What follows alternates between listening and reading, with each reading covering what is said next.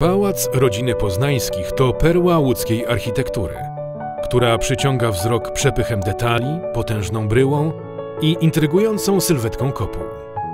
Za jego murami znajdziemy eleganckie wnętrza, w których prezentowane są dzieła sztuki oraz cenne przedmioty codziennego użytku.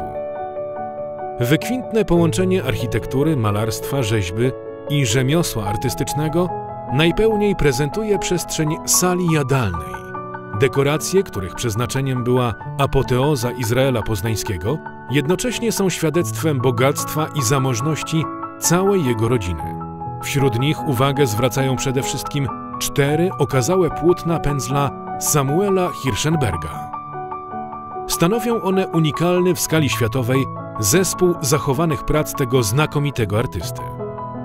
Tym samym malarskie dekoracje budują nie tylko opowieść o rodzinie poznańskich, ale są również naocznym dowodem talentu ich autora, wybitnego łodzianina. Samuel Hirschenberg urodził się w tradycyjnej żydowskiej rodzinie. Jego ojciec był właścicielem niewielkiego zakładu tkackiego, który miał się stać rodzinnym interesem.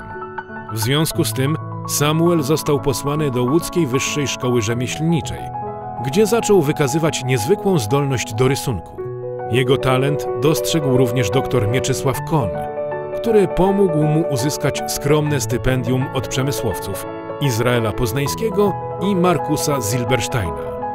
25 rubli miesięcznie pozwoliło młodemu artyście rozpocząć studia w krakowskiej Cesarsko-Królewskiej Szkole Sztuk Pięknych. Następnie kontynuował naukę w Akademii Sztuk Pięknych w Monachium. Pomimo problemów zdrowotnych, Samuel Hirschenberg był bardzo pracowitym artystą. Malował symboliczne, realistyczne obrazy, często poruszające tematykę filozoficzną i narodową. Już w czasie studiów wielokrotnie zdobywał za nie liczne wyróżnienia i pochwały. Prawdziwy sukces i rozgłos przyniósł mu nagrodzony srebrnym medalem obraz Szkoła Talmudystów, który prezentowany był również na wystawie światowej w Paryżu. Sława, studia na prestiżowej Akademii Colarosji otwierały Samuelowi Hirschenbergowi drogę do międzynarodowej kariery. Jednak konieczność wsparcia licznej rodziny zmusiła go do powrotu i osiedlenia się na stałe w Łodzi. Tu założył własną pracownię i tworzył przez następne kilkanaście lat, odbywając liczne podróże, innymi do Paryża i Rzymu, oraz biorąc udział w wielu wystawach krajowych i międzynarodowych konkursach. Pod koniec życia przeniósł się do Palestyny, gdzie wykładał w Szkole Sztuk Stosowanych Bezalel w Jerozolimie do śmierci w 1908 roku. Samuel Hirschenberg przez całe życie wspierał również artystyczne predyspozycje swojego młodszego rodzeństwa. Leon, podobnie jak jego starszy brat, został malarzem i na stałe osiadł we Francji. Mieszkał w Brytanii, która stała się bohaterką jego pejzaży i scen rodzajowych. Niektóre z nich obejrzeć można w saloniku muzycznym Pałacu Poznańskich. Natomiast najmłodszy z braci, Henryk Hirschenberg, zasłynął jako modernistyczny architekt projektujący nowoczesne budynki o ekspresyjnej, surowej bryle. O innych, równie utalentowanych łódzkich artystach przypominają także pozostałe przestrzenie Muzeum Miasta Łodzi. Szczególnym miejscem jest Pałacowy Ogród.